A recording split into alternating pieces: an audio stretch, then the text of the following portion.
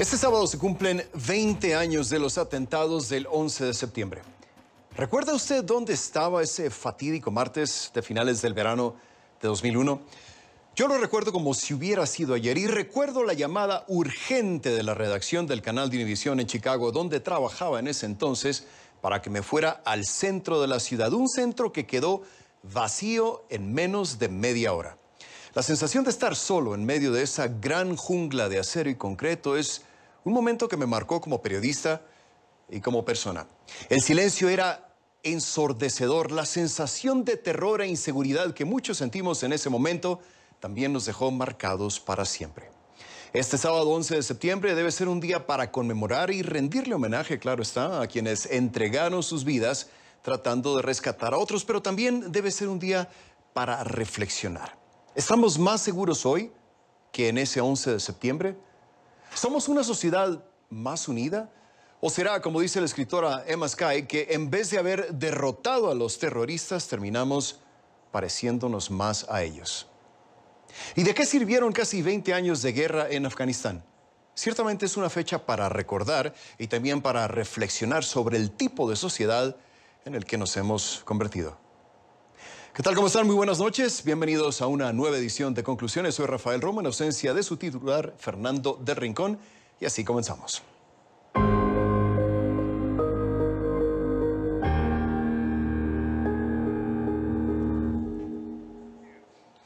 Les pido que a partir de este momento me acompañen utilizando la etiqueta numeral Conclu 11S, numeral Conclu 11S, ese de septiembre, por supuesto.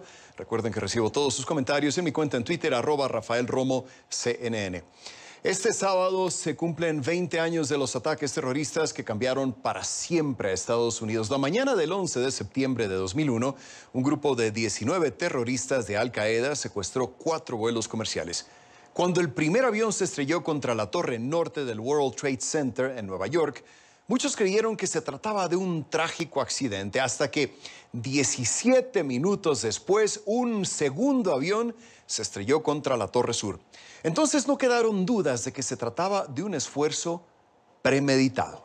Era algo que ya estaba planeado y que pretendía hacer daño, mucho daño a mucha gente. Luego un tercer avión, tercero, se estrelló contra el edificio del Pentágono en Washington y el cuarto avión secuestrado terminó por estrellarse contra un campo en Pensilvania en lugar de contra su objetivo después de que la tripulación y los pasajeros trataran de retomar el control de la aeronave.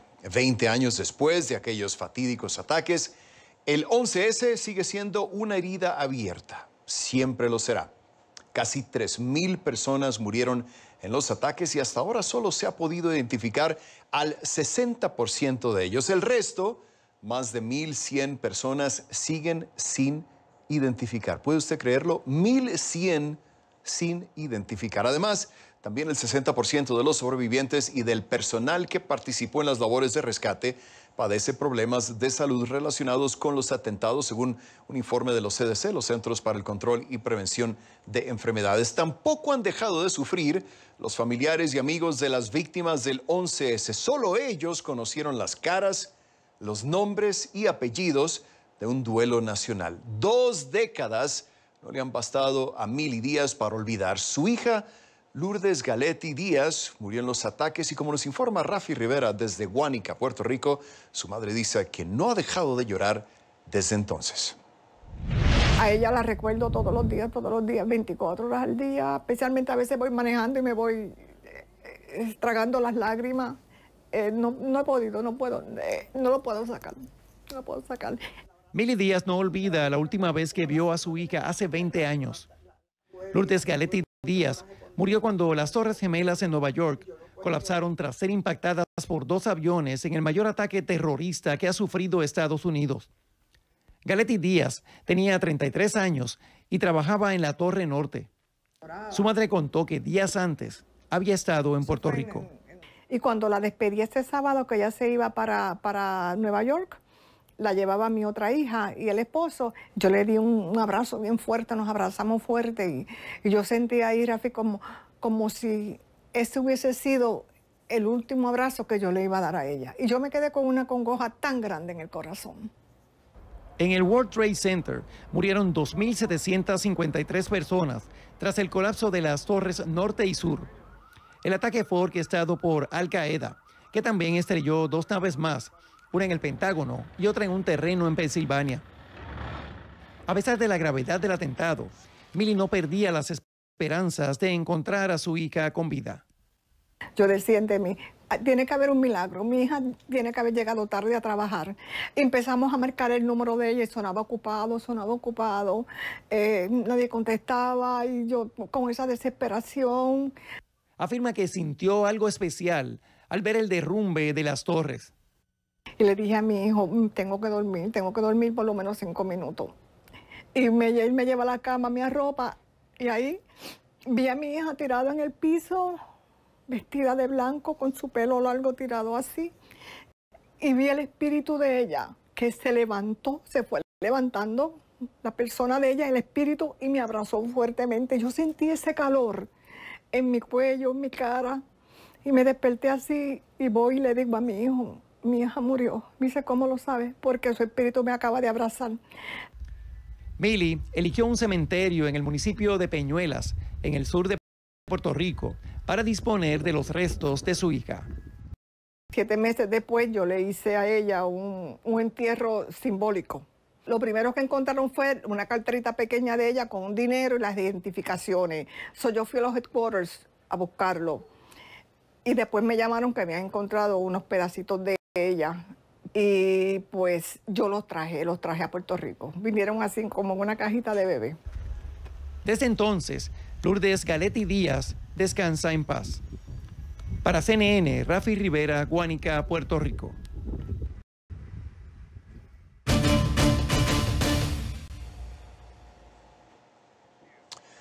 En mi siguiente invitada tenía 22 años aquel 11 de septiembre y se encontraba en la torre norte del World Trade Center, la primera en ser impactada. De repente, todo comenzó a derrumbarse a su alrededor y la torre empezó a temblar. Carla Pericón dice que su vida cambió totalmente ese día y le doy la bienvenida. Carla, gracias por estar con nosotros. Para empezar, quiero agradecerte que nos hayas conseguido esta entrevista. Sé que para ti es especialmente difícil hablar del 11 de septiembre porque no solamente fuiste testigo de los ataques, sino que también entiendo que te provocó complicaciones serias de salud. Así que te agradezco infinitamente que nos des esta oportunidad. Así que, si me permites, vamos a esa fatídica, fatídica fecha, el 11 de septiembre de 2001. Entiendo que trabajabas en un banco que tenía sus oficinas en el piso 11 de la Torre Norte y que habías llegado a trabajar muy temprano ese día. ¿Cómo te diste cuenta inicialmente de que algo no andaba bien? Bienvenida, te escucho.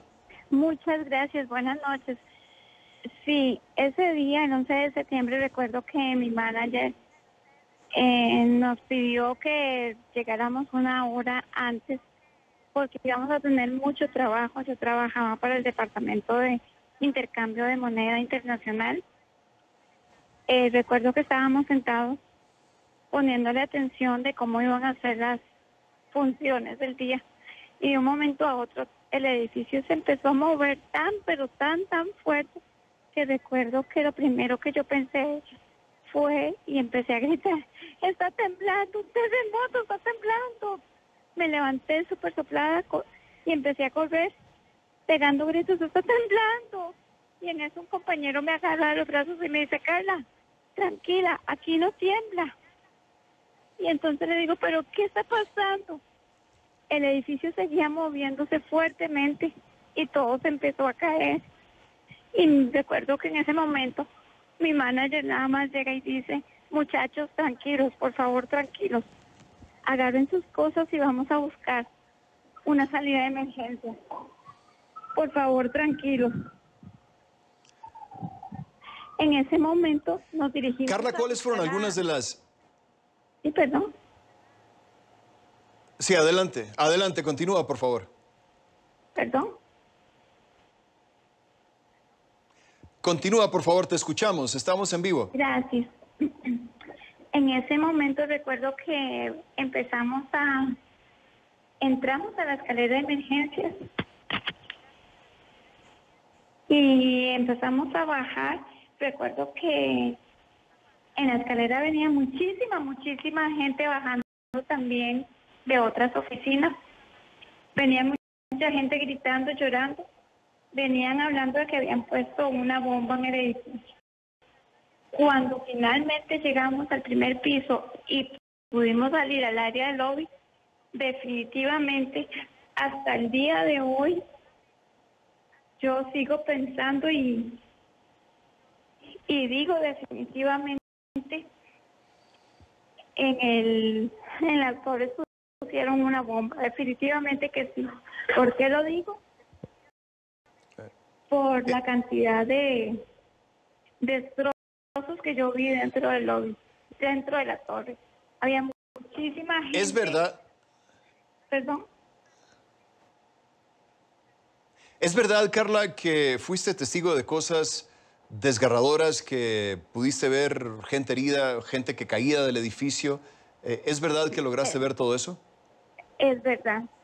Como le comentaba, apenas salí al lobby, mi primera impresión fue decir, wow, de verdad, aquí pusieron una bomba, porque fue la cantidad de, de desastres, de todo quebrado, este, ventanales quebrados, mucha, mucha destrucción en el lobby, completamente destruido, gente herida, y recuerdo,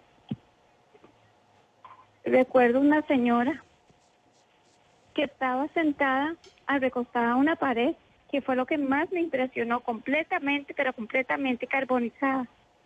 Y me recuerdo que en ese momento, cuando yo la veo, em, me, me paralicé del susto. Dios mío, ¿qué es esto? ¿Qué está pasando? Y empecé a pegar gritos. Y recuerdo que a lo lejos nada más pude ver un policía que con su mirada tan penetrante me decía, cállese y salga de aquí. Como que no grite y corra. Y de una vez Sí. con, con señales con su mano nos indica por dónde salir y nos saca por el Hotel Marvel.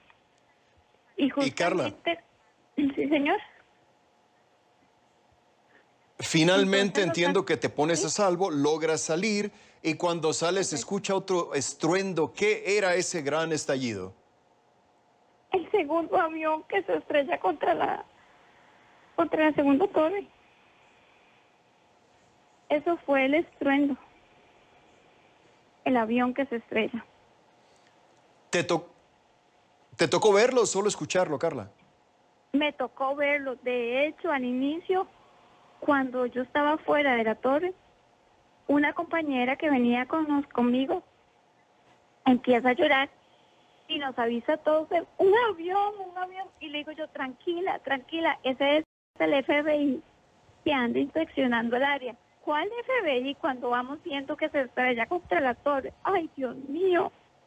Fue tanto, tanto el nerviosismo, fue tanto el pánico que me entró, que recuerdo que yo gritaba, gritaba como loca y lloraba y lloraba y empecé a correr, a correr, a correr.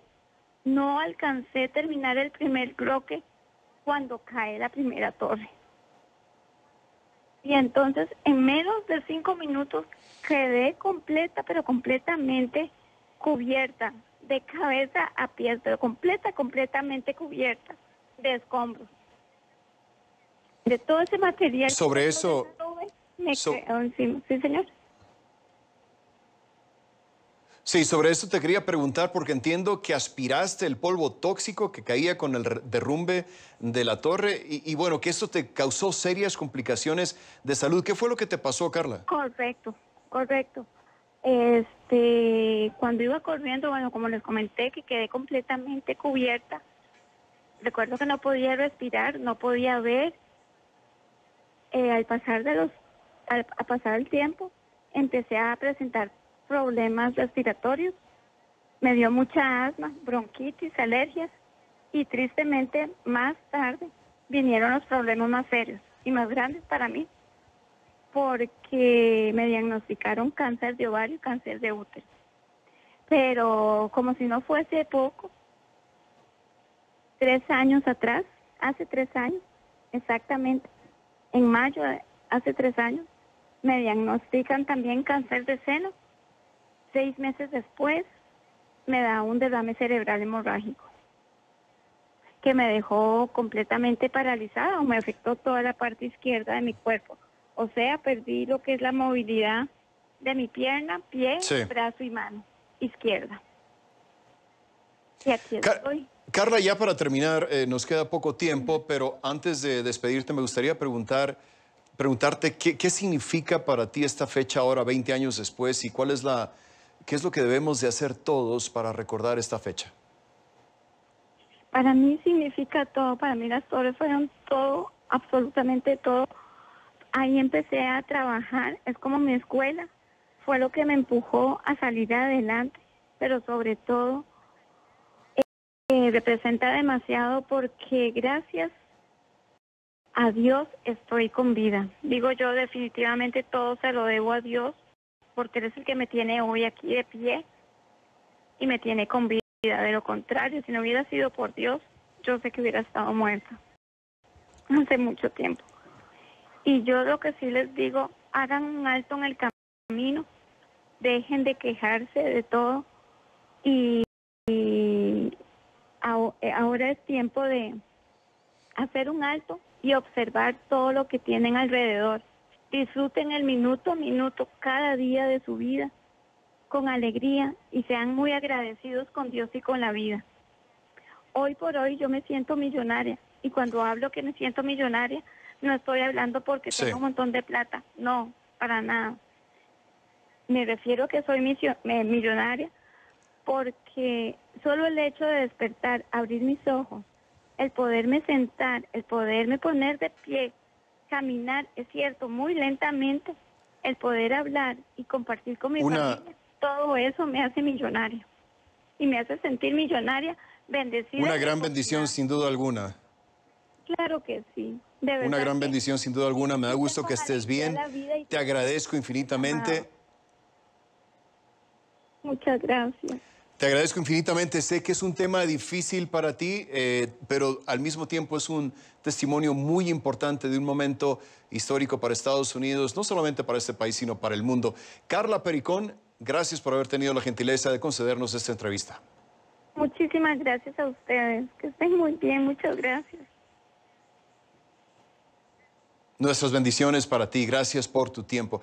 Vamos a hacer una pausa aquí en conclusiones y al volver, José Levy y Harris Whitbeck, dos grandes del periodismo, nos acompañarán para hablar sobre las repercusiones de los ataques del 11 de septiembre en la geopolítica y qué nos dejaron en realidad las interminables guerras en Medio Oriente. Es una edición especial de conclusiones. Soy Rafael Romo desde la Ciudad de México.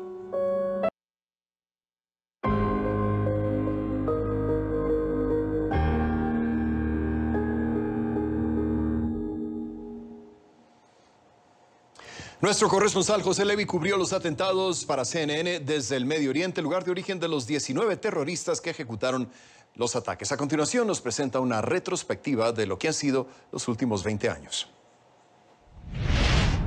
En CNN teníamos la sensación de transmitir en directo una noticia que cambiaba el rumbo de la historia. Hay quien hablaba hasta del comienzo de la Tercera Guerra Mundial el terrorismo global comenzaba una nueva etapa mucho más sangrienta. Solo en ese ataque murieron cerca de 3.000 personas. Si bien el daño era parecido al causado por armas de destrucción masiva, al final se supo que con pequeñas navajas, eso era todo. 19 terroristas suicidas, 15 de ellos de origen saudita, secuestraron cuatro aviones de pasajeros. Estados Unidos responsabilizó al entonces terrorista más buscado del mundo, Osama Bin Laden, líder de Al Qaeda, por los ataques del 11S. Después de que el movimiento talibán, que ya controlaba Afganistán, rechazara una posible extradición de Bin Laden, Washington lideró una coalición internacional contra ese régimen al que luego derrocó del poder. Pero ahora vemos cómo los talibanes retoman el poder. En ese movimiento hay quienes destacan como con una ayuda que creen divina, al final ellos son los vencedores. Esta guerra en Afganistán se prolongó durante dos décadas. Más de 2.400 militares estadounidenses perdieron la vida desde entonces el coste económico fue de 2 billones de dólares. El 2 de mayo de 2011, meses antes de que se cumpliera el décimo aniversario de los atentados del 11 de septiembre, el entonces presidente de Estados Unidos, Barack Obama, anunció que comandos estadounidenses habían encontrado y dado muerte a Osama Bin Laden en Pakistán. Pero iban a pasar otros 10 años hasta que emprendiera la retirada. Un aspecto central que preocupa a la comunidad internacional es si se podrá volver a convertir Afganistán en centro global donde grupos yihadistas puedan preparar atentados terroristas en otros lugares del mundo, tal como ocurrió, según Estados Unidos, en los atentados del 11 de septiembre de hace ahora dos décadas. Pero a pesar de este temor, el propio presidente Joe Biden intentaba justificar su controvertida decisión de retirar a sus tropas de Afganistán. Por un lado decía que fue el anterior presidente, Donald Trump, el que alcanzó un acuerdo de retirada con el movimiento talibán, y por otro, según Biden, ya no tenía sentido que Estados Unidos siguiera en ese país, al asegurar que, a diferencia de hace 20 años, el terrorismo ahora no está centrado en un solo territorio, sino que sufrió metástasis, dijo, a distintos lugares del planeta, desde África hasta Yemen. Y es por esto que es necesaria una estrategia distinta, es de suponer que más basada en ataques aéreos contra objetivos específicos. El talibán también en esto intenta calmar evidentes recelos y asegura que no permitirá que su país vuelva a servir de base para atentados en otros lugares del mundo. Pero a los servicios de inteligencia de Occidente les preocupan los estrechos lazos que existirían entre el talibán y Al Qaeda. Veinte años después, Afganistán sigue inquietando al mundo. José Levi, CNN, Jerusalén.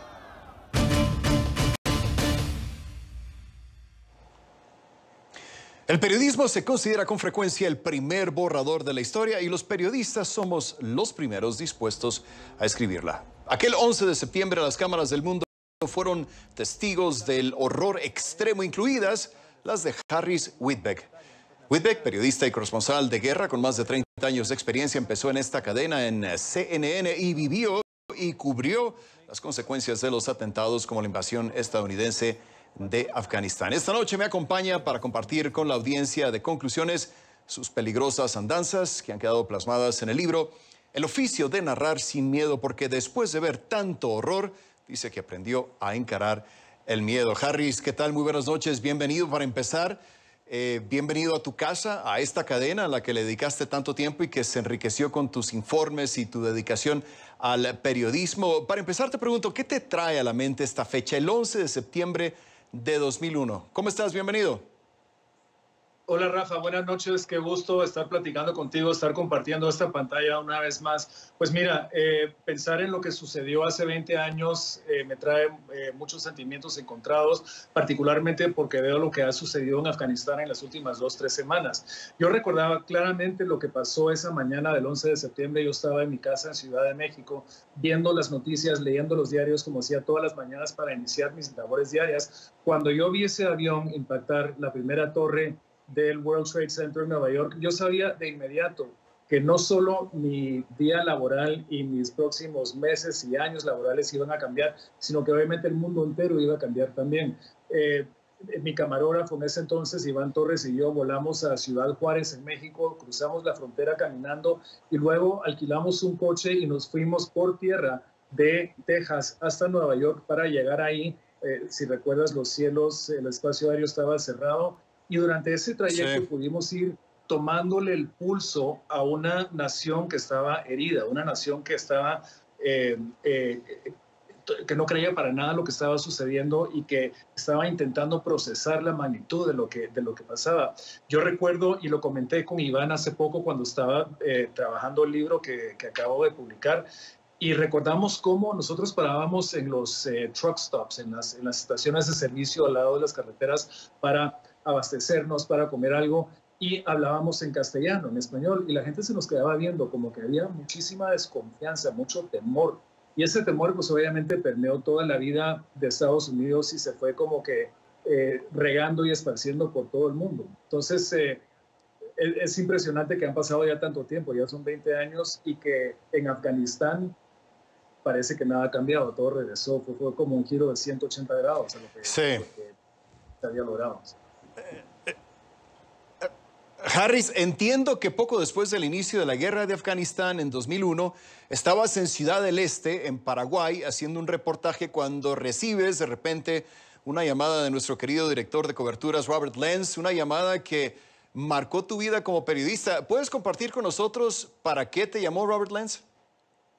Sí, mira, te cuento, yo estaba en Ciudad del Este trabajando un reportaje de investigación con eh, la productora Ingrid Arnesen, una de las grandes productoras que tenía CNN en ese entonces. Ingrid y te había conseguido información sobre la presencia de grupos de Hezbollah y otros grupos terroristas que estaban operando, lavando dinero y eh, canalizando fondos desde Ciudad del Este, que es una es un, tradicional foco de, contrabando en, América del Sur y que estaban canalizando fondos de Ciudad del Este hacia Kabul.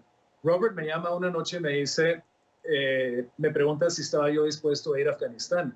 Mi primera reacción fue, por supuesto que sí, o sea, era como el gran sueño de cualquier corresponsal, esa, el, gran sueño de cualquier reportero, como sabes, es estar en la primera fila, ¿no? Para ser testigos de lo que estaba sucediendo en el mundo. Entonces, por supuesto que quise ir. Pero el ser humano en mí pensó de inmediato en mi casa, en mis padres, en mis hermanos, en mis amigos, que iban a pensar ellos cuando les tenía que decir que me iba a ir a esta zona de guerra. Y también me preocupó un poco el que yo no sabía a qué me iba a enfrentar y yo no sabía cómo iba a reaccionar yo a lo que iba a enfrentar. Y de ahí viene la relación esa con el miedo que todos los seres humanos tenemos y que yo tuve que aprender a manejar. ¿Cómo lo manejé? Reconociendo esa fuerza como una fuerza importante en las vidas de todos, también reconociendo que, la, que el miedo no es nada más que un vacío de información. Llega el momento en que uno reconoce eso y uno, uno llena ese vacío con información, el miedo se disipa. Y es lo que me sucedió a mí. O sea, llegué a tierras afganas, comencé a trabajar y, y, nada, me enfoqué en lo que tenía que hacer y bueno, estuve cerca de dos meses ahí. Una de las experiencias, eh, obviamente como periodista, una experiencia fascinante, una experiencia desgarradora también ver tanto sufrimiento, ver tanta, tanta injusticia, que es lo que trae la guerra, ¿no? Pero, pero también me encontré con muchos, eh, en, zonas de conflicto y en cualquier desastre, siempre encuentras como, como destellos de luz y, momentos de oscuridad que conviven, y eso es parte de, de, la experiencia humana. Entonces, eh, tuve que, pues, o sea, me siento muy honrado de poder haber sido testigo de estos momentos. sí como, como vivió la humanidad. Harris, en el minuto que nos queda, eh, te quiero preguntar ya para cerrar, ¿qué se te vino a la mente cuando viste las imágenes de la muy caótica retirada de las Fuerzas Armadas de Estados Unidos de Afganistán recientemente? Pensé en dos situaciones específicas, Rafa. Hace 20 años en Afganistán eh, yo acompañé a una joven de 18 años de, de, edad que se quería ir a inscribir a la Facultad de Medicina de la Universidad de Kabul porque quería estudiar medicina como lo hizo su madre y con la retirada del talibán ella ya veía eso como una realidad, como una posibilidad real. Pensé en ella, pensé qué sería de ella hoy eh, y qué pensaría ella al ver que sus sueños eh, que había logrado de repente estarían frustrados. También pensé en unos niños, hice un reportaje sobre unos niños que salieron a volar cometas, papalotes, después de años de no poder hacerlo porque era prohibido bajo el talibán. Recuerdo ese reportaje donde, donde yo me conecté con la alegría de una ciudadanía que veía cambios esperanzadores y no puedo dejar de pensar en qué estará pasando por las mentes de esas personas hoy en día. Sí, definitivamente la historia es cíclica. Narrar sin miedo es el título del libro escrito por Harris Whitbeck. Un abrazo, Harris, gracias por la oportunidad. Gracias, Rafa. Un abrazo y gracias por tenerme. Gracias, gracias y hasta la próxima. Y más adelante, capricho de Bukele o milagro económico. El Salvador es el primer país en adoptar Bitcoin como moneda de curso legal. Esta puerta hacia un gran casino, dicen algunos, un paso hacia la modernidad, según otros. Tendremos un análisis, no se vaya.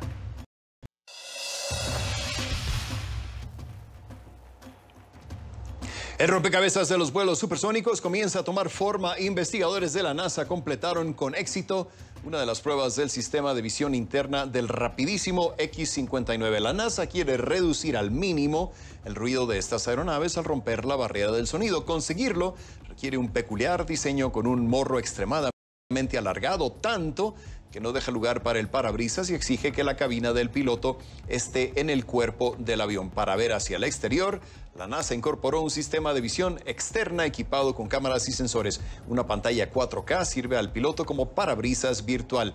Gracias a ella es posible controlar el tráfico aéreo durante el vuelo, además de comprobar datos en realidad aumentada durante las aproximaciones, los despegues y aterrizajes.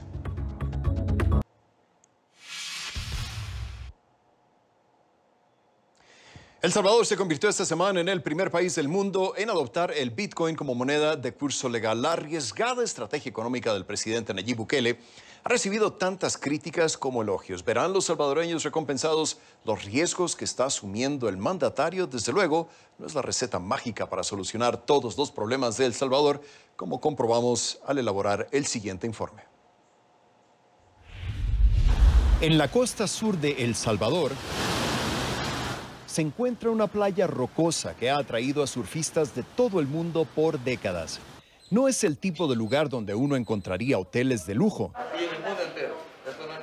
Pero este pueblo costero de unos 3.000 habitantes es la cuna de una pequeña revolución financiera que podría tener un impacto profundo en la economía mundial. Desde hace varios años, un creciente número de habitantes de El Sonte ha utilizado Bitcoin como su moneda principal de uso cotidiano. Hay muchas oportunidades con Bitcoin para abrir las formas de pagar que las personas ricas tenían ahora. Por ejemplo, para pagar en línea o por un negocio para um, un depósito. Michael Peterson es un estadounidense que ha vivido en el Sonte desde hace ocho años. Peterson llegó aquí por primera vez como surfista en 2004. Ahora es el director de Bitcoin Beach, una iniciativa local patrocinada por una organización estadounidense sin fines de lucro. Peterson dice que tiene un doble propósito, desarrollar la comunidad y promover el Bitcoin. Por mí es solo una oportunidad para caminar con, la, comunidad. Ah, yo no gano nada de este, no es un negocio. Por cierto, yo, yo invertí en Bitcoin por muchos años porque yo creer está en la futura. Peterson no es el único que apuesta a que el Bitcoin aliviará el gran reto de la pobreza de El Salvador. Dólares equivalentes en Bitcoin. Nayib Bukele, el presidente millennial del Salvador, promovió con éxito una ley que esta semana convirtió a su país en el primero en el mundo en adoptar el Bitcoin como moneda de curso legal. Venezuela lanzó una criptomoneda hace tres años llamada Petro, respaldada por las reservas y recursos naturales del país sudamericano. El caso de El Salvador es único porque es el primer país en adoptar el Bitcoin como moneda legal. Aquí en México, por ejemplo, el Banco Central advirtió en junio que las criptomonedas representan riesgos inherentes y que hacer transacciones con ellas está prohibido bajo la ley actual. Esto significa que no se le permite a los bancos hacer transacciones con ellas. Algunos pequeños comerciantes de El Salvador, como José Abraham Cerón, quien vende sándwiches en la calle, dice que el Bitcoin es atractivo porque les da una alternativa para ganar dinero. El cliente que me pregunta si acepto Bitcoin, pues yo le digo que sí, entonces ahí pues él saca su móvil y ahí pues me cancelan. No muy lejos, la dueña de esta pupusería dice que prefiere el dinero contante y sonante. Bueno, eso es nuevo. Para empezar, no tenemos suficiente información. Y otra cosa, yo empiezo con mi negocio y se me hace bien difícil invertir. No es la única que rechaza la moneda digital. Cientos de salvadoreños recientemente salieron a las calles de San Salvador, la capital, para enviar un contundente mensaje sobre su sentir hacia las criptomonedas. Venimos a convertir todo un país en un juego de azar, en un casino, donde se juega dinero cuando el dinero no cuesta. Para ellos, como la familia Bukele, el dinero no les cuesta. Lo pueden meter en cualquier casino del mundo. Pero El Salvador no es un casino. De regreso en el Sonte, Peterson dice que la gente no debería ver al Bitcoin como una amenaza, sino como una oportunidad. que necesita para cambiar es más oportunidades por los jóvenes para continuar para universidad, para crear su propio negocio. Entonces con Bitcoin entre todas estas oportunidades para ellos no quieren ir por la mara y quiere hacer una familia aquí y tener hijos que ellos pueden percibir como tienen un buen futuro aquí pero advierte que adoptar el Bitcoin no significa que los problemas de El Salvador, como la pobreza y las maras, desaparecerán de la noche a la mañana. Sin embargo, dice que tiene la esperanza de que la moneda digital represente un gran beneficio para las clases menos privilegiadas.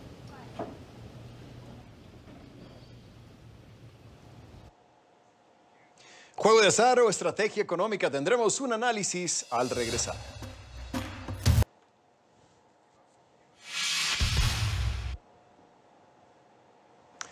Óscar Cabrera Melgar, presidente de la Fundación para el Desarrollo de Centroamérica, nos acompaña desde Santa Tecla en El Salvador. Bienvenido a Conclusiones, Óscar. Gracias por estar con nosotros. Eh, como acabamos de escuchar en el reportaje, no son pocos los que rechazan el uso del Bitcoin en El Salvador. De hecho, una reciente encuesta de la Universidad Centroamericana indica que casi 7 de cada 10 salvadoreños rechazan esta moneda digital. ¿Qué representa, Óscar, para El Salvador como país haber adoptado el Bitcoin como segunda moneda de curso legal, además del dólar. Bienvenido, lo escucho. Muy buenas noches, Rafael. Eh, pues un gusto estar dialogando. Por un lado, el uso del Bitcoin, que es un criptoactivo como moneda de curso legal, no es una herramienta monetaria necesaria para estabilizar la economía salvadoreña después de haber sufrido un decrecimiento de casi menos 8.6% por la pandemia y, eh, y se han exacerbado las desigualdades como la pobreza. Entonces, las amplias fluctuaciones que tiene la cotización del Bitcoin hace imposible el manejo de la política pública para la economía salvadoreña y sobre todo cuando esta economía requiere salir de esa trampa de bajo crecimiento económico y alcanzar los objetivos de, desarrollo del milenio para 2032. En suma, el Bitcoin no va a proveer suficiente dinero para sostener a una población y a una economía en crecimiento, dado su carácter deflacionario. Tiene un monto de minado de 21 eh, millones pues, de unidades. Si a eso le sumamos la pobre alfabetización financiera de la población salvadoreña, los bajos niveles educativos y la insuficiencia en los derechos del consumidor, pues estos se manifestaron con la entrada del Bitcoin. Primero vimos una billetera que presenta serios fallos tecnológicos, a la fecha no ha funcionado y en los momentos que ha funcionado, la población se encontró eh, un riesgo de mercado dado la caída del 19% de la cotización del Bitcoin, vieron cómo ese subsidio de 30 dólares que otorgó el eh, pues el gobierno se empezó a reducir su valor. Otro de los riesgos que va a estar al orden del día es el riesgo operativo y cibernético. Decenas de salvadoreños han denunciado la suplantación de su identidad en la billetera electrónica. Y por otro lado, eh, quienes han tenido acceso a esta billetera electrónica son aquellas personas que tienen celulares de alta gama que valen más de mil dólares. O sea, el objetivo eh, de esta medida, que es llegar a los hogares de menores niveles de ingreso, no se ha conseguido. Y como tú has dicho, eh, si se nulifica. Perdón se nulifica entonces eso de que va a ayudarle a la gente que no tiene acceso normalmente a los bancos. Nos queda aproximadamente un minuto, Oscar. ¿Qué le diría usted a ellos? Bueno, lo primero es que la población salvadoreña ha sido muy clara. Ha mencionado 8 de cada 10 salvadoreños no tienen ninguna o poca confianza en el Bitcoin y obviamente, pues a la población salvadoreña lo que le recomendamos es continuar manejando el dólar, que es una moneda que conocen, que saben que este mes 100 dólares van a valer lo mismo que en el mes de diciembre. El Bitcoin en El Salvador va a generar una disrupción en los sistemas de pago, caída de los depósitos, mayores costos de financiamiento, caída de las reservas internacionales, va a agravar la desintermediación financiera y la efectividad de las políticas macroeconómicas y financieras que ya habían sido amputadas desde la dolarización. Bien. Oscar Cabrera Melgar, presidente de la Fundación para el Desarrollo de Centroamérica, nos acompañaba desde El Salvador. Gracias y hasta la próxima. Oscar, hacemos una pausa, regresamos con más aquí en Conclusiones. Nos vemos este fin de semana en Mirador Mundial. Que tengan muy buenas noches.